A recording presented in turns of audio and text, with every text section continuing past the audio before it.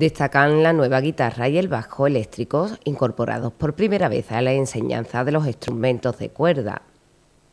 También el saxofón, el clarinete y los dos amplificadores que permitirán avanzar en el aprendizaje individual de instrumentos de viento metal. Además, para el programa de iniciación al lenguaje musical llegan nuevos equipamientos completos de lo que se denomina pequeña percusión. Son instrumentos como maracas, cascabeles, platillos, claves, triángulos, cortinas y otras piezas que permiten la iniciación a la música entre los alumnos más jóvenes. Ocho atriles, recambios de cuerda y de guitarra y partituras permitirán reforzar el equipamiento de proyectos educativos ligado al Ayuntamiento de Tarifa a través del área de cultura.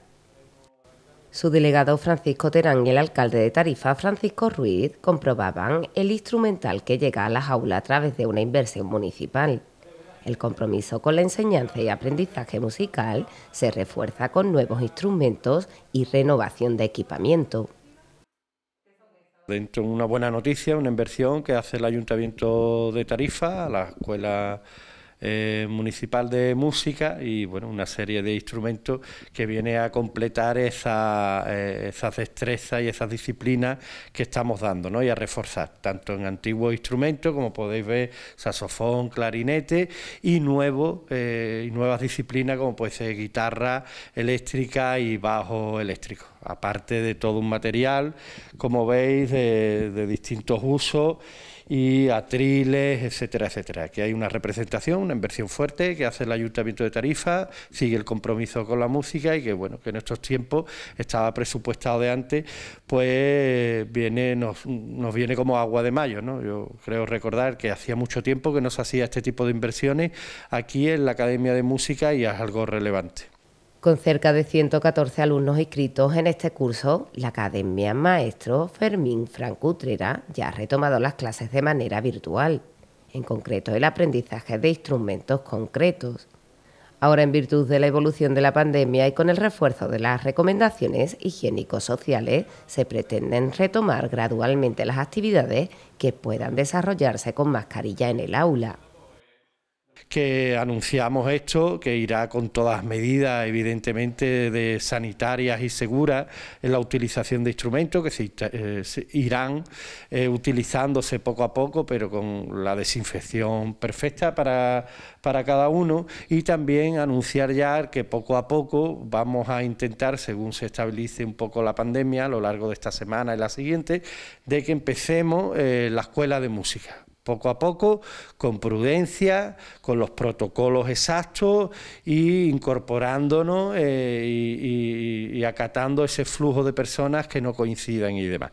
Es verdad que hay una serie de premisas que se decidió, como sabéis, todos los martes y jueves, eh, este ayuntamiento, la comisión técnica, digamos, del seguimiento del COVID se reúne y con las autoridades sanitarias nos van dando, vamos haciendo el estudio un poco de cómo evoluciona la pandemia. Entonces se ha decidido que si se estabiliza un poco, pues empezar a andar, ¿no? Eh, caminar con prudencia, con todas las medidas de seguridad y en ese hilo empezaremos a lo largo de esta semana, principio de la siguiente, poco a poco iremos incorporando distintas disciplinas a la escuela de música.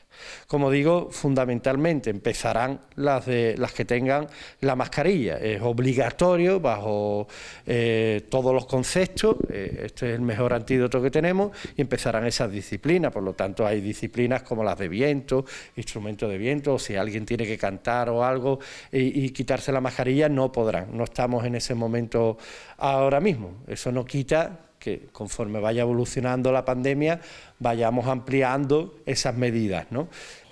En la misma línea, se prevé reactivar las actividades de la Casa de la Cultura ligadas a la cesión de espacios libres que la estabilización de los datos de la pandemia en Tarifa así lo permita.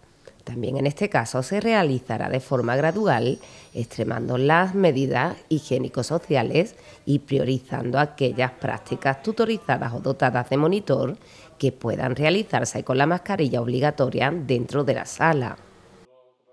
También intentaremos poner en marcha también poco a poco esas sesiones de espacio de la Casa de la Cultura, pero otra vez con las mismas premisas, es decir, empezaremos con la, con la mascarilla obligatoria y eh, eh, ese aforo, que estaban aforados los espacios, que prácticamente están en 10, al hacer sesiones de espacio, 10 alumnos, guardando esa medida y ese distanciamiento social, pues eh, también pondremos unas medidas eh, un poco más restrictivas, digamos, en ese sentido de garantizarnos las medidas de seguridad, que serán, que tienen que estar tutorizados por un maestro, como hacemos nosotros eh, aquí en la academia, y la mascarilla obligatoria, y le vamos a aforar un poco ese aforamiento bruto, lo vamos a convertir en neto y a lo mejor la limitamos una serie de personas más, eh, más cortas. ¿no?